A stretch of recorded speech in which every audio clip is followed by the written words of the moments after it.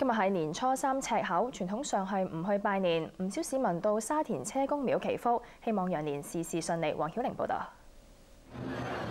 位於沙田嘅車公廟一早已經有大批善信參拜，誠心為新一年祈福，香火鼎盛。咁梗係保嘢保佑誒屋企人身體健康啦，成績好啲啦。社會咧就唔好咁多爭拗啦。有泰國遊客每年都嚟香港，專程去到車公廟參拜。Every year for for the whole family. How many for how many years? Like more 18 years. 嚟到車公廟，當然唔少得轉一轉風車，為來年轉個好運。離開之前買個風車，亦都係指定動作。有店主就話：今年嘅生意同往年差唔多。同往年比較呢？